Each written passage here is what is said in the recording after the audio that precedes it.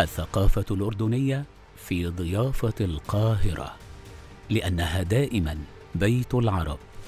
تشارك مصر الأشقاء الأردنيين احتفالاتهم الممتدة بمئوية تأسيس الدولة باختيار المملكة الأردنية الهاشمية ضيف شرف على معرض القاهرة الدولي للكتاب في دورته الرابعة والخمسين. وهي فرصة ثرية لاستعراض إبداعات المثقف الأردني والتعريف بمنجزه المرتبط بقيم الدولة الأردنية وإبراز دورها التاريخي في الحفاظ على المقدسات الإسلامية والمسيحية في مدينة القدس. ترجع النهضة الإبداعية في الأردن إلى تأسيس أول مجمع علمي عام 1923 وجلب أول مطبعة حكومية عام 1925 لتيسير طباعة الكتب ونشر الثقافة.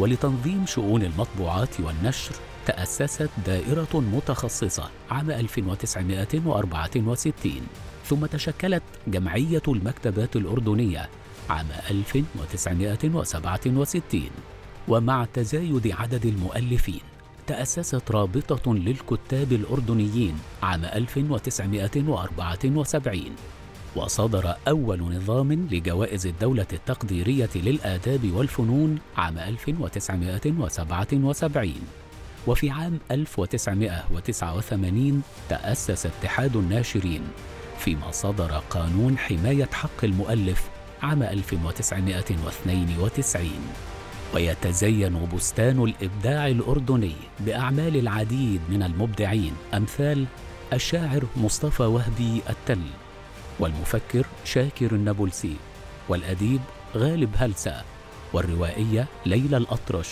والمؤرخ سليمان الموسى والمؤرخ أحمد العلونة والروائي أيمن العتوم والأديب إبراهيم نصر الله.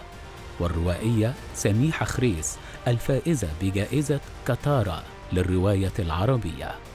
وقد بلغ عدد دور النشر الأردنية المشاركة في معرض القاهرة الدولي للكتاب أكثر من 37 داراً تقدم لزوار المعرض أحدث إصدارات المثقفين الأردنيين في مختلف مجالات الإبداع للتعريف بالثقافة الأردنية التي تمتد جذورها. إلى عدة حضارات قديمة.